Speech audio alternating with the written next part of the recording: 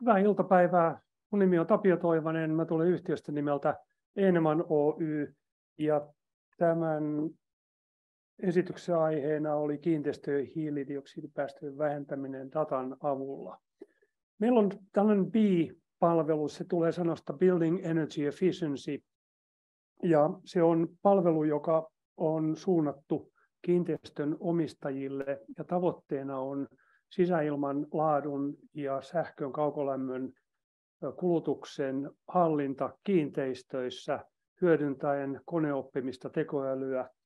Ja tuota, no tässä on vähän tausta, taustamatskua tuota, tämän hetken tilanteesta. Meillä on hyvässä muistissa tämän talven tuota, sähkön hinta, hinnan kehitys, hintapiikit ja tuota, miten, miten se vaikutti kiinteistöihin, kiinteistöomistajiin. Kiinteistöomistajillahan on hyvin usein niin, niitä omia, omia tuota, on joku budjetti tai niillä on omia asiakkaita ja tuota, sitten pysyykö kiinteistöomistaja budjetissa tai saako kiinteistöomistaja lykättyä näitä kasvaneita kustannuksia sinne omille asiakkailleen.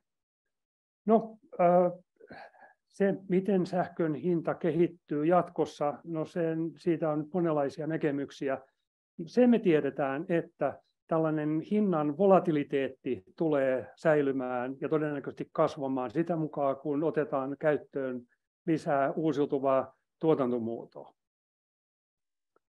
Tuota, otin yhden, yhden slaidin tuosta EU-hankkeesta AI for City. Siinä on, siinä on kuvattu tuota, kiinteistöjen päästöjä Helsingissä. Tämä on, näkyy olevan HSYn tilastoa.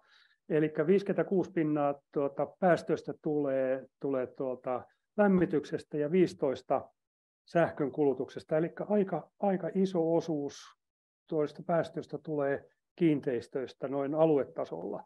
Ja edellisessä slaidissa oli sitä, että, että noin, noin neljäsosa kiinteistön ylläpitokustannuksista tulee sähköstä ja kaukolämmöstä.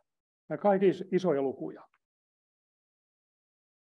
No, tuota, kiinteistöt on tyhmiä, eihän se näin ole tietenkään. Kiinteistöautomaatio ei ole välttämättä kauhean fiksu, ja se lähtee siitä, että, että kiinteistöautomaatio hyvin pitkälti ohjaa kiinteistöä katsomalla taustapeiliin. Kiinteistöautomaatio on, on säädetty silloin, kiinteistö on ollut uusi, sitä on vähän säädetty takuajan puitteissa. Kiinteistön käyttö on saattanut muuttua, laitteistot kuluu, väsyy, se ei ole välttämättä säädetty ihan kohdallaan. Mutta ehkä, ehkä isompi juttu on siinä, viitaten vähän samaan, mitä toi Ketomäen Jaska puhuu tästä, tästä tuota, älykkyydestä ja, ja siitä ennakoi, ennakoitavuudesta. Eli kiinteistöautomaatio ei tyypillisesti näe sitä, miten, mikä on sähkön hinta, mikä on sen saatavuus, mikä on mahdollisesti uusiutuvien tuotantomuotojen saatavuus, mikä on, mikä on säätila hetken päästä. Ne ohjaa sen hetkisellä sisätilaolosuhteella ja sen hetkisellä säätilalla. Ja me haluttaisiin muuttaa tätä tilannetta sillä tavalla, että me tehdään kiinteistöstä älykkäämpiä.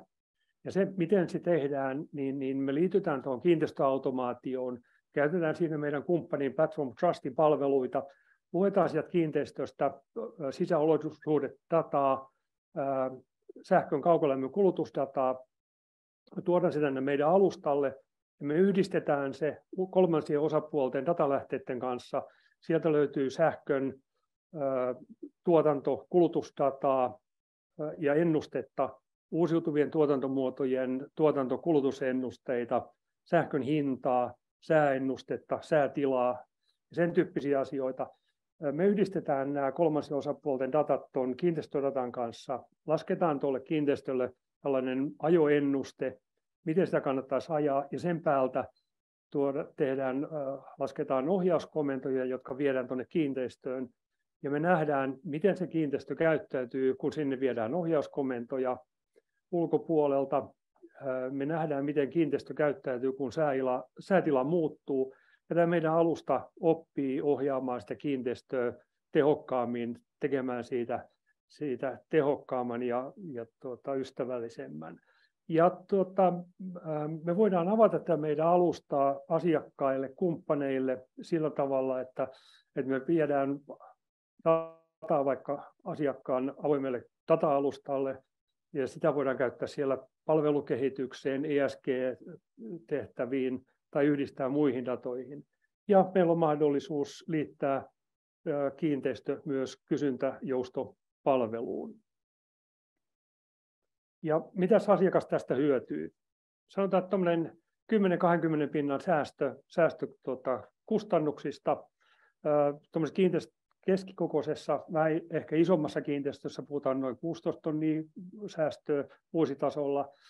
Päästövähennys suunnilleen samaa luokkaa, 10-20 pinnaa, vähän kiinni siitä, että, että miten se sähkö ja kaukolämpö on siinä kiinteistössä tai sillä alueella tuotettu. Ja sitten niin, niin pidetään tämä työskentelymukavuus annetuissa vaihteluväleissä.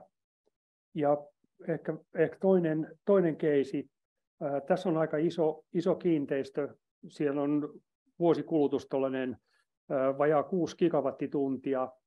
Osa siitä, siitä lämmöstä, osa siitä sähköstä on, on ohjattavissa ja siitä ohjattavasta osuudesta me pystytään sitten leikkaamaan pois tietty, tietty siivu ja tässä kiinteistössä niin toi, toi säästö on 27 tonnia vuodessa. Vähän syvemmälle siihen, että, että miten, miten me se, se hyöty asiakkaalle tehdään.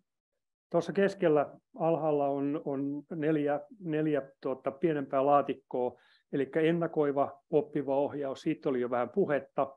Eli tämä meidän alusta, koneoppiva, koneoppiva alusta ohjaa, ohjaa ja oppii sen, sen kiinteistön käyttäytymistä. Kokonaisvaltainen ohjaus. Me voidaan ottaa ohjaukseen lähes kaikki kiinteistön laitteistot, kaikki mitä, mitä se kiinteistöautomaatio pystyy ohjaamaan, niin me pystytään sen kiinteistöautomaation kautta ohjaamaan samoja laitteita. Sitten tässä on tällainen käsite kuin sisäinen kysyntäjosto. Se on mun mielestä aika hyvä, hyvä käsite sille, miten, miten tuota, tämä ohjaus tapahtuu. Eli voidaan ottaa vaikkapa sähkön spottihinta ja shiftata sitä kulutusta niiden kalliitten tuntien ulkopuolelle. Tai sitten toinen on se, että, mikä on sähkön saatavuus tai mikä on, mikä on tuota, päästöttömän äh, sähkön saatavuus niin voidaan taas niin kuin jakaa sitä, sitä tuota, niiden, sen saatavuuden mukaan. Tai no, siinä, on, siinä on useita vaihtoehtoja. Sitten on tämä ulkoinen kysyntäjousto. Me käytetään sähkön taajuuden mukaista ohjausta ja silloin voidaan vaikkapa kiinteistön ilmanvaihto, no, liittää, liittää sähkön kysyntäjostoon, niin silloin täytyy useampia kiinteistöjä tietysti niin kuin niputtaa siihen, siihen samaan, samaan tuota, nippuun. Tuossa on yksi keisi Helsingin kaupungilta, missä tuota, viime vuoden loppupuolella niin, niin, niin oli, oli tuloksia. Ilmanvaihdon kulutussäästö oli 30 pinnaa, ja lämmityksen noin, noin neljä. Ja, ja su, sitten suunnilleen samantasoiset päästövähennykset. Tässä, tässä kiinteistössä oli, oli kiinteistöautomaationa Fidelix ja, ja tuota, kaupungilla on Nuuka-palvelu, Nuuka Solutions-palvelu käytössä, jonne viedään, viedään tuota, dataa kiinteistöstä. Me luettiin sieltä, sieltä ruukasta niin noin vuoden data, jolla me opetettiin tämä meidän alusta tähän kiinteistöön. Ja sitten sen jälkeen Fidelixin kautta saatiin sitä tosiaikaista dataa ja Fidelixiin vietiin sitten noita ohjaustietoja. Tässä on, tässä on Helsingin kaupungilta tuota, yksi kojetaulu. Eli me halutaan pitää tämä meidän palvelu mahdollisimman ää, niin kuin läpinäkyvänä. Ja tuota, me tehdään tällaisia kojetauluja, jotka annetaan, annetaan asiakkaalle. Tuossa ylhäällä on, on ää, ylhäällä oikealla on muutaman tilan CO2-pitoisuus. Tämä on, tämä on ala-aste. Ja, ja tuota, sitten vasemmalla ylhäällä on poikkeutettu ilmavaihtokanavan paine. Tässä kiinteistössä ilmavaihto sammutetaan yöajaksi. Se käynnistetään kaupungin toimesta tietyllä aikataululla, tehdään aamuhuuhtelu, sen jälkeen meidän palvelu ottaa, ottaa kopin ilmanvaihdon ja lähtee säätämään sitä, kun CO2-pitoisuus on alhaalla, niin, niin, niin silloin pudotetaan kanavapainetta ja taas nostetaan, kun CO2-pitoisuudet nousee. Tuossa oikealla ylhäällä näkyy toi, toi tuota, 1000 ppm, joka on kaupungin antama, antama tuota, ää, niin kuin ylätaso sille CO2-pitoisuudelle kiinteistössä. Tässähän ei ole sinällään mitään uutta. Melkein mikä tahansa kiinteistöautomaatio pystyy tekemään näitä samoja, samoja juttuja. Mutta sitten otetaan tuosta vasemmalta keskeltä, niin siinä on kiinteistön lämmityksen ohjaus, ja sitä ohjataan tuon lämmityksen ohjaus kiinteistötasolla sääennusteen mukaan. Eli sen mukaan, miten sää tulee muuttumaan, muistaakseni tässä oli yhdeksän tunnin sääennuste, niin ohjataan lämmönvaihtimen toimintaa sen ennusteen mukaan. Eli ennakoidaan lämmityksen, lämmityksen tuota, taso, taso muutama, muutamalla tunnilla. Ja tuossa alhaalla on huonetasoinen lämmityksen säätö. Kaupunki antoi meille puitteet, eli että työskentelyaikana niin lämpötilan pitää olla välillä 21-23 astetta, ja tuossa noin noi 21 ja 23 näkyy vaakaviivoina, ja välissä sitten huonekohtaiset lämpötilat. Ja oikealta puolelta alhaalta, niin sieltä löytyy, tuota, tämä ei ole sitä kiinteistöstä, tämä on lisätty tähän antamaan kuvaa siitä, niistä kyvykkyyksistä, niin, niin kiinteistön laitteiden spottihintaohjaus, spottihinta nousee, niin silloin pudotetaan kulutusta ja päinvastoin. Ja alhaalla on sitten tuulivoiman saatavuuden mukaan ohjataan yhtä laitetta. Ja sitten nämä, nämä tota, CO2-päästöt, eli meillä on dynaaminen CO2-päästöjen laskenta. Tässä on, tässä on ilmavaihdon CO2-päästöt ja se, kuinka paljon me pystytään siitä, siitä tuota, päästöstä leikkaamaan pois. Totta kai.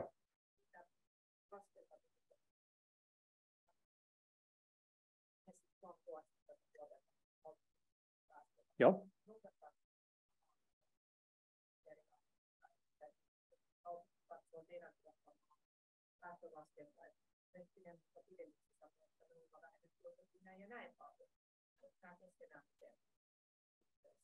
Tuota, mä, en, mä en itse asiassa tiedä, miten HSY tekee tätä laskentaa. toistan lyhyesti kysymyksen, niin kuuluu tuonne niin, joo, meitä tämä kuutio oli tuolla latauksessa. Mä voin nopeasti vetää tähän kuutioon. Eli miten tämän järjestelmän päästövähenemä suhtautuu näihin niin kuin vir, NS-virallisiin laskentatapoihin. Me noudatetaan siis näitä, NS, mä, mä en laske niitä, niin mä en tiedä mikä sen, sen Joo. mallin nimi on. Joo. Mutta Sa, sain, sain, sain, kiinni, sain kiinni kyllä.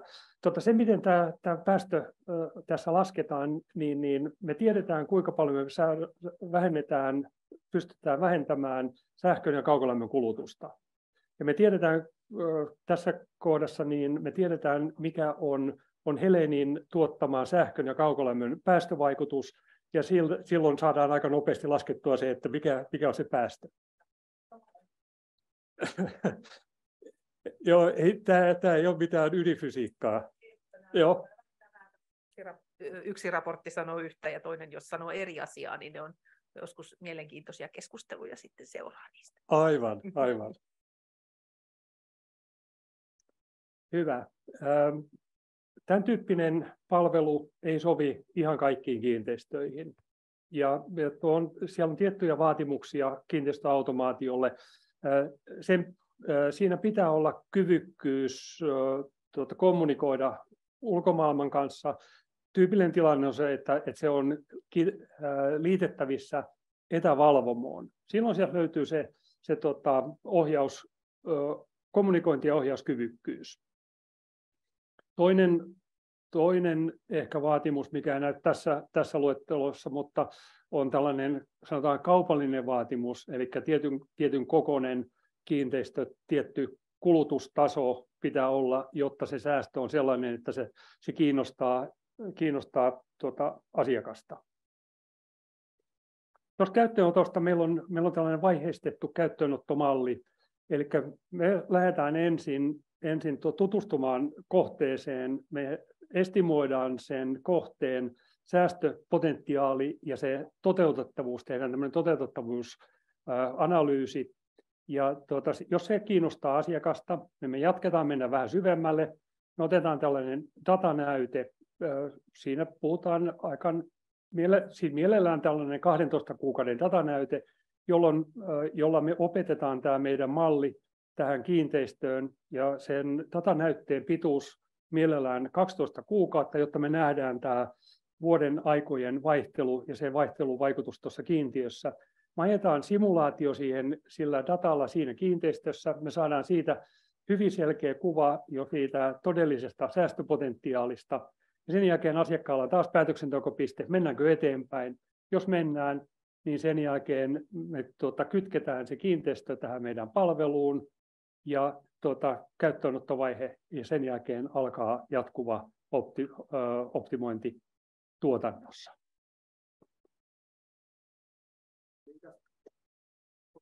Kiitoksia. Mielellään kysymyksiä. Joo, ole hyvä. Minkälainen niin kiinteistö niin kuin alkaa niin kuin kiinnostamaan kulutuksen suhteen? Ah, okei. Okay. Siis minkä kokoinen kiinteistö kulutuksen mukaan pitää olla, jotta se alkaa kiinnostamaan Joo. teitä? Hyvä. Tässä on, tässä on kaksi puolta. On toisaalta toimittajan puoli ja on asiakkaan puoli. Niin, niin. Ja, kyllä. Ja se, se voi vaihdella sitten sen mukaan, että kummalta osapuolelta kysyy. Meitä kiinnostaa tietysti kiinteistöt, joissa kulutus on, on niin kuin mahdollisimman iso, mutta mielellään puhutaan sellaisesta, että se säästöpotentiaali on jossain, sanotaan, noin 15-20 000 luokkaa vuositasolla tai, tai isompi, jolloin, jolloin voidaan laskea, että silloin silloin tota, se sähkön kaukolämmön kustannus pitäisi olla jossain 200 000 päällä ehkä, tai sanotaan 175 tonnia ja siitä ylöspäin. Jos kysytään asiakkaan puolelta, niin silloin se näkymä voi olla toinen. Silloin, no, mistä, mistä asiakas on kiinnostunut, mitä he tavoittelee, Onko siellä, onko siellä tämä säästötavoite, onko siellä päästötavoite, päästöjen alennustavoite. Se oikeastaan selviää sitten niissä keskusteluissa. Mm.